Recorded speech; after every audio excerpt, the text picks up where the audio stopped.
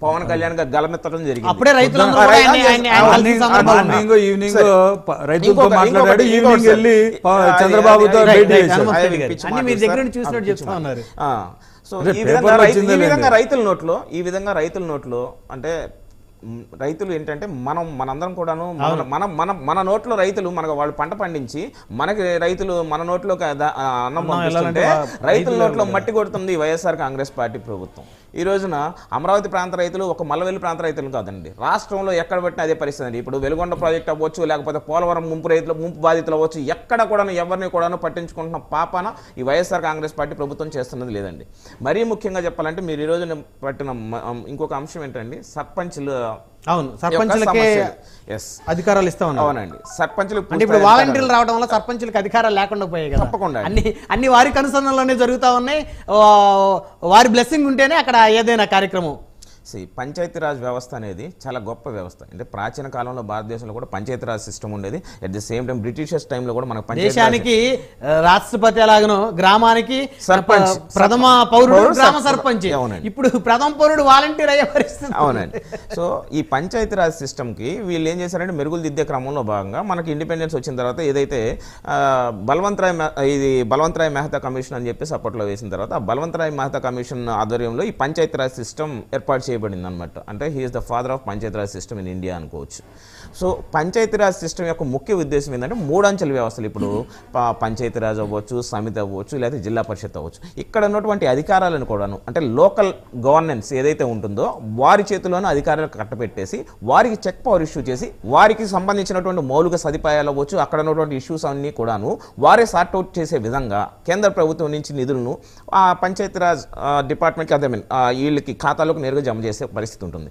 ఈ రోజున చూస్తే కేంద్ర ప్రభుత్వం పంపించిన పంచాయతీరాజ్ గ్రాంట్లు ఏదైతే ఉంటాయో అవన్నీ కూడాను ఎటువైపు డైవర్ట్ అవుతున్నాయో కూడా తెలియని పరిస్థితిలో ఉన్నట్టు. అవి కూడాను మరి ఏ పథకాలకు మళ్ళిస్తున్నారో లేకపోతే ఎవరి జేబుల్లోకి దోచుకుంటున్నారో కూడా తెలియదు.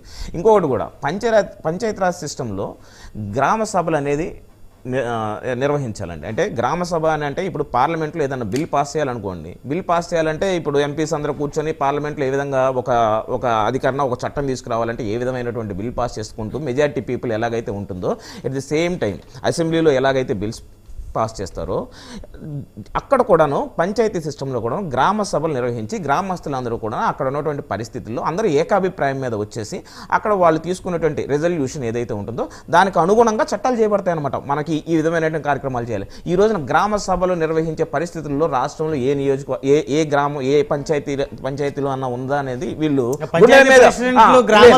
ఈ రోజున పంచాయతీ ఈ రోజున పంచాయతీ ఈ రోజున పంచాయతీ చేస్తారు. గ్రామాలకు వెళ్ళిపోతున్నారు. ఏటా ఏటా అన్నగారు ఏటా రెండు సార్లు పంచాయతీలో గ్రామ సభ నిర్వహించాలనేది చట్టంలో ఉంది. అది చట్టంలో ఉంది. అది చట్టంలో. అది చట్టంలో ఉంది. వీళ్ళు పంచాయతీరాజ్ సిస్టమ్కి తూట్లు పొడిచే విధంగా ఈ వాలంటరీ సిస్టమ్ అంటే ఒక సమాంతర వ్యవస్థ ఒక ప్యారలల్ గవర్నెన్స్ ఒక ప్యారలల్ గవర్నెన్స్ తీసుకొచ్చేసారు. ఈ పంచాయతీ ఈ సమాంతర వ్యవస్థ ఈ. పంచాయతీరాజ్ అసలు వాలంటరీ సిస్టమ్ ఎందుకు తీసుకొచ్చారంటే వాలంటరీ సిస్టమ్ యొక్క ముఖ్య ఉద్దేశం లేకపోతే గ్రామ. సచివాలయం యొక్క ముఖ్య ఉద్దేశం ఏంటంటే ఈ రోజున పంచాయతీ వ్యవస్థకు తూట్లు పొడిచే విధంగా. సర్పంచులకు సంబంధించిన అధికారాలకు తూట్లు పొడిచే విధంగా వీరే ఈ రోజున అడుగుతున్నా, పంచాయతీల మొత్తాన్ని వారి చేతిలో. అధికారాలకు వాలంటీర్లకు సంబంధం లేదు GO number- GO number one fifty six ప్రకారం ఏంటంటే on establishment of gram and ward village secretariat ఒక అంశం ఒక అంశం మాత్రం ప్రతి ఒక్కరు కూడా హనుమంత్ రెడ్డి గారు గమనించాలి.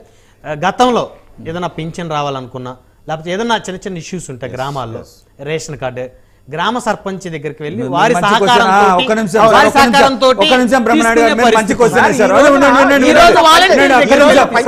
మాట్లాడుతున్నా. మీరు అడిగారు కదా ఎక్కడ గ్రామ సర్పంచ్కు పింఛన్ ఇచ్చే అవకాశం ఉండదు. ఇది ఎంతసేపున ఎండిఓ ఆఫీస్లో జరుగుతుంది వారి. సార్, ఒక్క నిమిషం అంటే వారి అదే. సహకారంతో. ఇదే ఇదే మీరు. ఏంటంటే గతంలో జన్మభూమి కమిటీలు అని పెట్టి వాళ్ళు చెప్పిన పని చేస్తేనే చేసే విధంగా ఉండేది అలాంటివన్నీ జగన్మోహన్ రెడ్డి గారు ప్రతిపక్షంలో ఉన్నప్పుడు సుదీర్ఘమైన పాదయాత్రలో ప్రజలు వచ్చి చెప్పుకున్నప్పుడు జరిగిన దానికి సంబంధించినంత వరకు ఏమేం చేస్తే బాగుంటుంది ఇప్పుడు నేనేమంటున్నా అంటే మీరు అంటున్నారు సర్పంచా ఇంకొకరు ఇంకొకరా వాలంటీర్లు ఏమైనా లంచం తీసుకున్నారా? ఈ. ప్రభుత్వ అధికారులు సంక్షేమ. కార్యక్రమాన్ని ప్రజల దగ్గరికి తీసుకెళ్తా ఉంటే వీళ్ళకి ఎందుకు అంత బాధ అంటే గతంలో గతంలో వీళ్ళు. ఇచ్చిన పింఛన్లన్నీ వీళ్ళ పార్ట్నర్ అయినటువంటి చంద్రబాబు నాయుడు గారు ఇచ్చిన పింఛన్లు ముప్పై లక్షలు ఇప్పుడు అరవై మూడు. లక్షలు. నేను- సీక్రెట్. పార్ట్నరా నేనేం చెప్పను అదే అందుకే ఒక్క. చంద్రబాబు నాయుడు గారికి దయచేసి ఎప్పుడు టీడీపీ ఏ ప్రెసిడెంట్ అవసరం ఉన్నారు, వారి- వారితో లేదు. మాట్లాడిన తర్వాత సార్, వంశీ గారు. చంద్రబాబు నాయుడు గారికి హనుమంత్ రెడ్డి గారు హనుమంత్ రెడ్డి గారు ఆగండి సార్ పొలోమని పాలిపో- వాలిపోతాడు పవన్ కళ్యాణ్. నేను ఒక్క వీరికి నేను ఒకసారి- చెప్పలేదు నేను వీరికి ఒక సమాధానం చెప్పాలండి ఎందుకంటే పొలోమని పాలిపోతాడు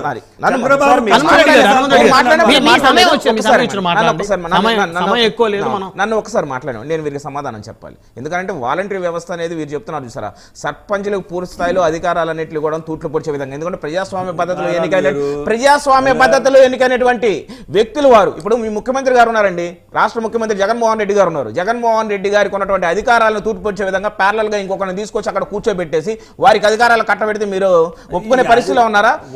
Doctor B R. Doctor B R doctor volunteer B R అంటే అంబేద్కర్ ఏం రాసిన కాదు. రాజ్యాంగం వాలంటీర్ డాక్టర్ బిఆర్ అనేవాడు- రాష్ట్రంలో వాలంటరీ వ్యవస్థ రాష్ట్రంలో వాలంటరీ వ్యవస్థ మీరు చెప్తారు. ఏ ఏ ఏ రాష్ట్రంలో ఎగచెప్పడం కాదన్న ఒక్క నిమిషం. వాలంటీర్ అనేవాడు మాట. దేశంలో- వాలంటరీ వ్యవస్థ అనేది ఎక్కడా లేదండి. దేశంలో వాలంటరీ. వ్యవస్థ కేవలం ఎందుకుందో చెప్తున్నానండి దేశంలో అందరూ కూడా అన్ని. రాష్ట్రాల్లో కూడా డాక్టర్ బిఆర్ అంబేద్కర్ రాసిన రాజ్యాంగాన్ని ఫాలో అవుతుంటే కేవలం ఆంధ్రప్రదేశ్లో మాత్రం కేవలం ఆంధ్రప్రదేశ్లో మాత్రం రాజారెడ్డి రాసిన రాజ్యాంగం ఉంటుంది కదా రాజారెడ్డి రాజ్యాంగం ఆంధ్రప్రదేశ్లో నడుస్తుంది డాక్టర్ బిఆర్ అంబేద్కర్ రాజ్యాంగం రాష్ట్రంలో దేశంలో మిగిలిన అన్ని రాజ్యాంగం